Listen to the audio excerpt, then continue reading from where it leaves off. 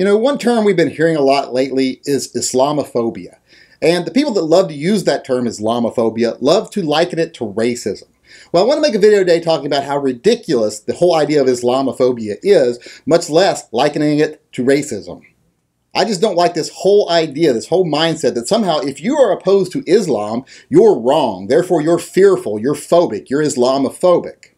And the idea of trying to link it to being a racist, well, that's even more stupid because Islam is not a race.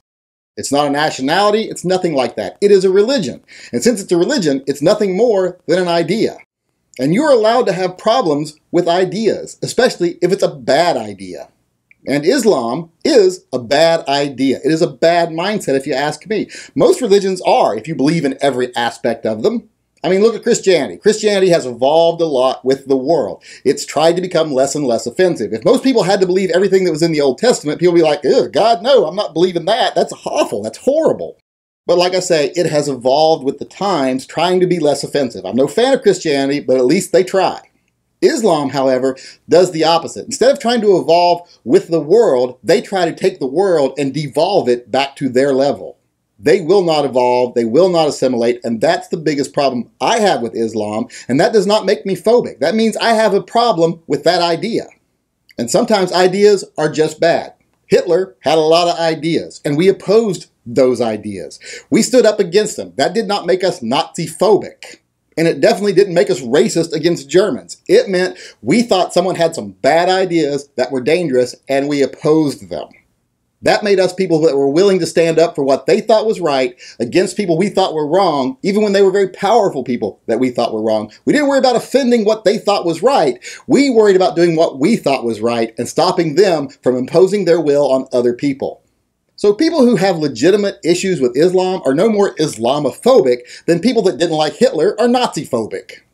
And you know, it definitely doesn't make you racist. If you have problems with an idea as disgusting as what I think Islam is in its purest form, that doesn't make you fearful. That doesn't make you cowardly. That makes you someone who's paying attention, if you ask me. And being shamed by the media and people that want to stand in the way of actually doing something, that doesn't make any sense to me, and I don't think it should work. I don't think you should even be allowed to use the term Islamophobic. They make up their own term to shame people who just have a problem with something that's real and something that's bad.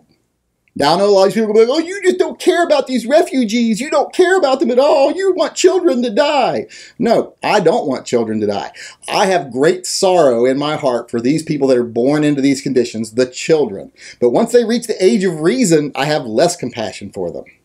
And let's remember, most of these people that are now refugees, up until recently, were actually willing participants in a society that violently discriminated against people that they did not feel were pious enough. These people were okay with gays being violently killed, you know, non-Muslims being violently killed. They were okay with people being mutilated because they, you know, deface something that has to do with Allah. They were okay with that kind of discrimination.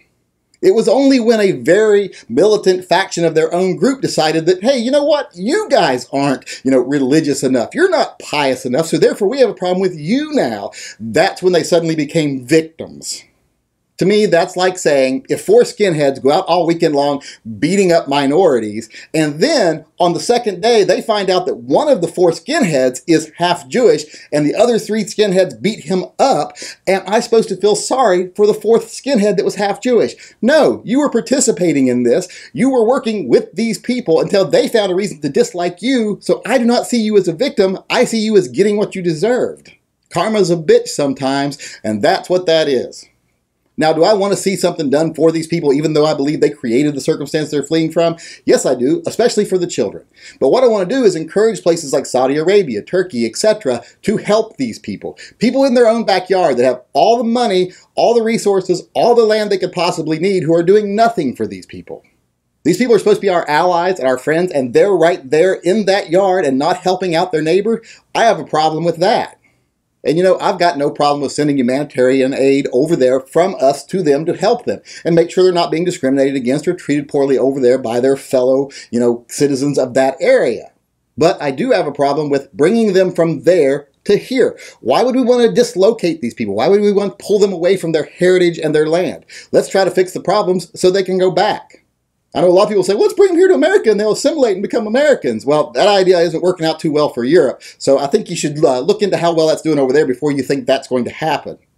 And I, for one, don't think we should shove democracy and America down people's throats. If they want to live there, let them live there. Let them suffer the consequences of their own actions. Help them if we can. But bringing them here when they actively want to kill us and our children and civilian targets are their main interest, that's not a good idea. Because all it takes is a couple out of every 100,000 to get over here to cause massive damage. So since we can't do background checks on these people because no records exist, we have to do as much as we can for them over there without endangering ourselves.